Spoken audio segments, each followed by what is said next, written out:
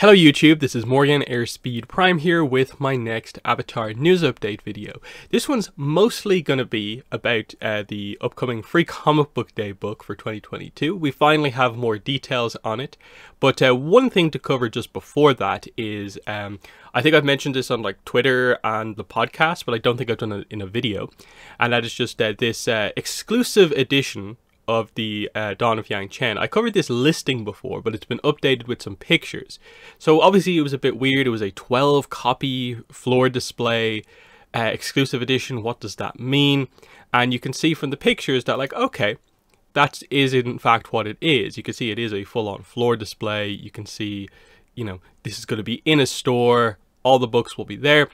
And it says here on the poster, exclusive collector's edition featuring a limited edition wraparound poster jacket, limited quantities, available for order via floor display only. So I'm guessing that more or less means it, it's kind of like an in-store exclusive, unless some online stores are going to be ordering this in and just, you know, basically ignoring the actual display part of it and just, you know, shipping out the uh, the actual books, but it's maybe not the most effective, cost-effective way to get it. Who knows? Because like we don't even know what stores are going to be stocking this. Um, in that like, um, uh, places that will be selling this book in store. Will they just order the book, normal book, or will they go for this as like a sort of like a first run type thing? Who knows? But you can see here they sort of show you some of this. Um, what's going on here. Uh, it looks like it potentially is just a double-sided dust jacket uh, that allows for sort of like a clean cover if you have the poster on the front. And then if you do the other side, it says, you know, Collector's Edition, Dawn of Yang Chen, um, and so on. And there's a look at the actual poster itself. Um, from what I can tell, uh, I don't think anyone just directly translated it, but I, I think it is sort of like, you know, water, earth, uh, fire, air. Um, but again, I, haven't really seen like a direct translation. And there's also the weirdness just about the fact that like uh, this section is on the spine of the book. Yet these three, I suppose, are on like the inner kind of uh, cover because you can see uh, in this picture, uh, you could see the. Uh, oh, sorry. Why is that like that? Yeah, so you can see there the the water bit, I guess, is on the the the back of the book, and then it would be like on the inside cover where you see the other elements. So that's kind of weird, but um, yeah, it doesn't look like it's anything super crazy. That the Barnes & Noble exclusive that actually has exclusive content does seem a little bit better. But for people who are super into the novels, they might want to get all of them and just be aware that this is something that you can get. It's still listed as 12th of July. Will it be available a week early? Not sure. And then one other thing to mention just here on Edelweiss is just this uh, kind of interesting uh, GIF kind of graphic that they have uh, just highlighting that uh, the Kyoshi novels, nearly half a million copies sold, I guess, across both of them. And then also, it says here, just a second, 250,000 copy announced first printing. So they're really going for it here. If you take the what's up with the Kyoshi novels as being accurate, that means they have maybe not quite sold 250,000 copies each, but they're obviously very confident with like extra marketing that this book will. So that's kind of interesting. Um, but yeah, we are talking about the uh, Free Comic Book Day 2022 Avatar and Korra comic. So I'm starting off with this, just sort of what we knew ahead of time, so we can go into sort of the reveal of what's actually in it and highlight how sort of bad of a job at communication Dark Horse did with this. So all it says, as you can see here, Avatar and Korra, both avatars return in two all new stories from the series, dive into, you know, just fun stuff. Doesn't say anything about the details of the story. And then obviously from the cover you can see here, they actually have Aang on the cover. And it's like, oh, cool. I, I guess that means we're getting an Aang focused story, which is technically true, but ultimately misleading. Because, as we get the reveal here, on Reddit, uh, EarthMelon25253 got uh, an early copy of it, I guess, and has revealed basically some of the stuff inside. So, the Korra comic, as you can see here, is called Beach Wars. So the Korra comic is going to be the sort of Korra version of the beach episode. If we go into some of the other things here, we'll, we'll go over that in a second. You can see the inside page, along with the reveal that the Avatar section of this comic is actually just a preview for the Chibi comic Aang's Unfreezing Day. This is Chibi Volume 1, Aang's Unfreezing Day. So this comic is now out in August, I think. Um, this is disappointing. This is, to me, full on disappointing. Absolutely. I know they've done this before. The very first Avatar Free comic was a um, preview, basically, for the Lost Adventures. So, you know, this is effectively, in a way, what, what the free comic book stuff is usually for, in a way that a lot of it, like half of the comics are sort of previews for books that are out. Some of them do go for exclusive stories. But especially based on last year's comic, I think everyone was expecting with the Avatar Korra double format that we'd just be getting two new short stories. And now, oh, this book that so many people just don't care about. Uh, I don't see anyone talking about Aang's Unfreezing Day because it's been so badly delayed. They put it in the free comic book day as a preview. I, I don't like that. I get technically it matches Free Comic Book Day because then you have a more serious story of the Korra one, I guess, is like a, a proper, you know, story. Then you have your more kids focused story for Aang. But ah, I just don't like the marketing again of like, you have normal Aang on the cover, and it speaks to this idea of one, if this was the plan all along, why not put the Korra stuff on the cover?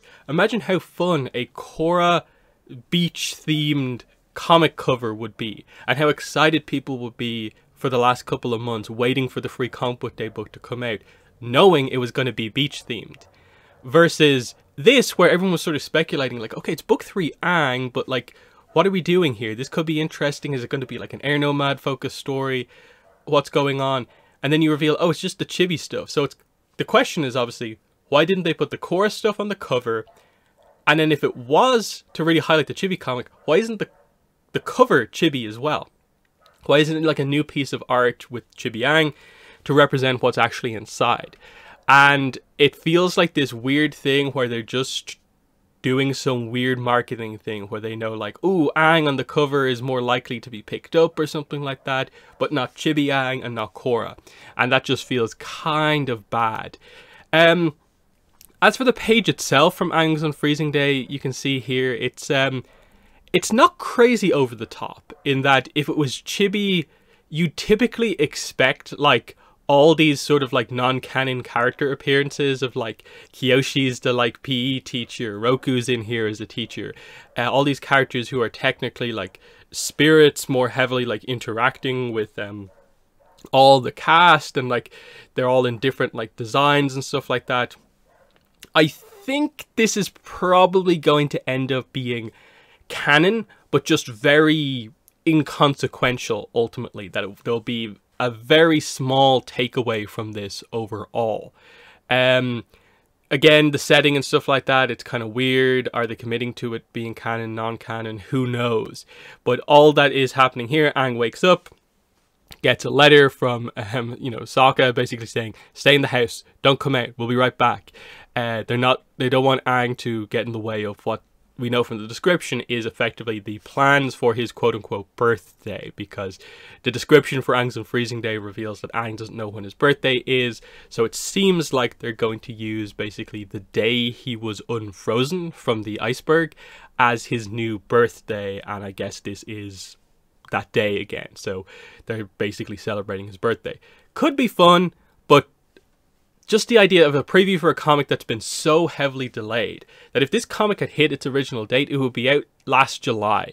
So it's nearly a year on that like we're to just get the preview for this taking up the space of what could have been a proper like avatar short story so many things are just like no absolutely not especially because for comics preview pages are a normal thing and this maybe being like a slightly bigger preview. I'm not i'm not here for this at all. I do not like this and i don't like the the communication um and how this has happened. Especially if potentially this comic has maybe been delayed for the sake of including it in this short story. Now i'm hoping that's not the case but add everything together and it feels like um that kind of seems to be maybe what happened. Um, but the other thing, obviously, is uh, this the uh, preview page here for um, Beach Wars. So uh, it's it's it's overall pretty good. You know, uh, Katara is here, Toph is here, so that's nice. Uh, you can see uh, Jinora, uh, Meelo, Ikki, uh, Opal, Bolin, and of course Korra and Asami. We'll see if anyone else is there. Obviously, Mako is probably the main like. Where is he? Does he just get forgotten again? Is that the dynamic they're going for? Mako continuing to, but we'll see. Always good to see you, Toph. Uh, meh, I'm not thrilled to be back in Republic City, but getting to spend time with Opal is worth the hassle, and uh, that's all we really get there. The other page, though, if we look on the other side, does tell you a little bit more about it. And again, I'll ask the question with these free comic book day books why don't you just include this full description with the book when it gets announced? Why only include the first line which says nothing when you can include this whole extra thing that basically says what the book is?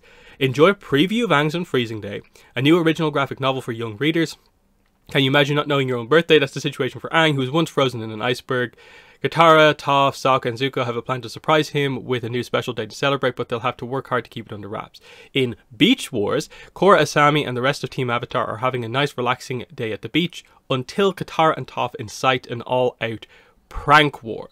So again, shenanigans on the beach is what we're going for here, but it's the Republic City beach, apparently, based on the uh, the dialogue from Toph there. So that's kind of interesting. I have, don't think we've seen that location before necessarily. Um, prank wars. We'll we'll see what we get. They're saying Team Avatar is here, so I guess that that would have to include Mako. So I'm guessing Mako will be here, but uh, he might show up later on.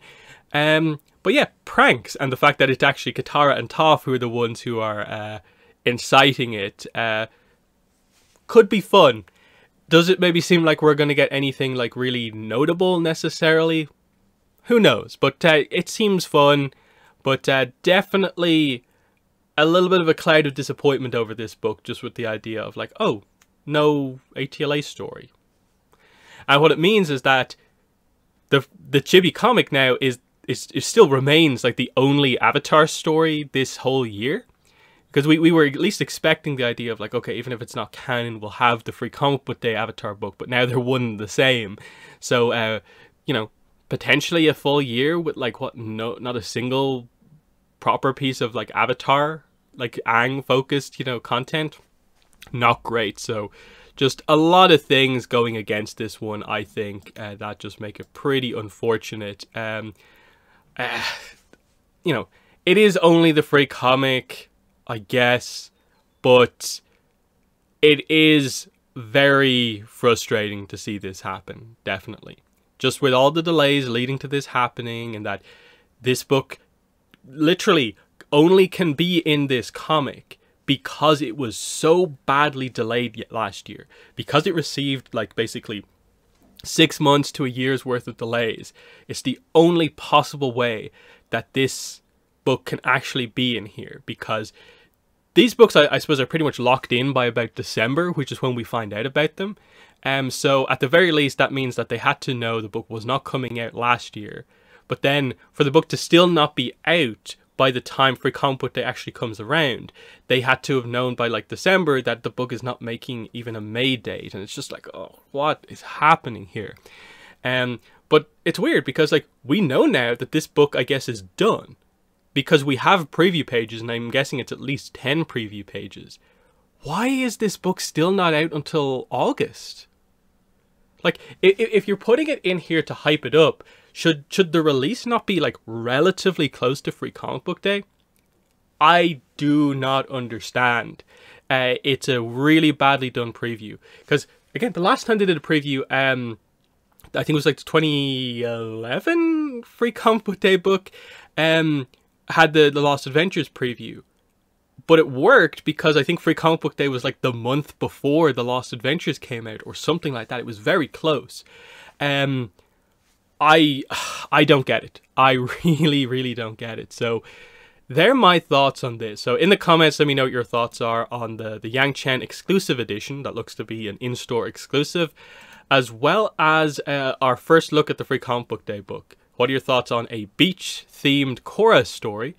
Uh, as well as, uh, I guess, technically our first look at the uh, the Chibi comic. So uh, in the comments, uh, let me know what your thoughts are, but that's been the video. Thanks for watching, and bye.